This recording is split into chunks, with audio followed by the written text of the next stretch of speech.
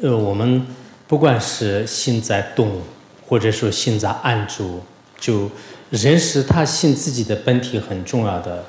呃，藏地著名的一个修行者叫华智仁波切，他说：“卓呃，夏日听啊当扎瓦了，卓切不能拿得切。”他说：“我们的这些分别念跟以前一样的，同样的会显现，但是呢，呃。”认识自己的分别念的时候，都已经解脱了。所以，我们现实生活当中的很多烦恼呢，你只要认识它的时候，都都都得到解脱。就看看自己特别愤怒、特别痛苦的时候呢，你看看这个痛苦的心到底在在什么地方？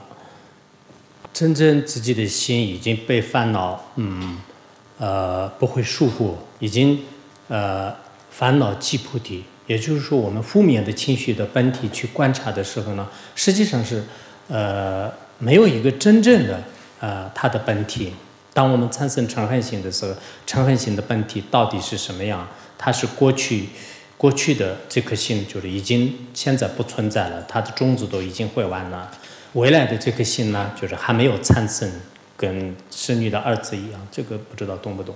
然后现在的这个心呢，我刚才讲的就像虚空一样，就其实我们这个心用心来观察的时候，确实它是很很奇妙的。我们人很烦恼，自己的心天天痛苦，但是你真正观察我烦恼的这个心的话呢，其实很容易认识它的。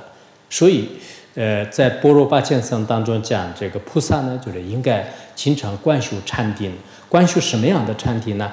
就观入虚空，就是像虚空一样的禅定，就是经常修行。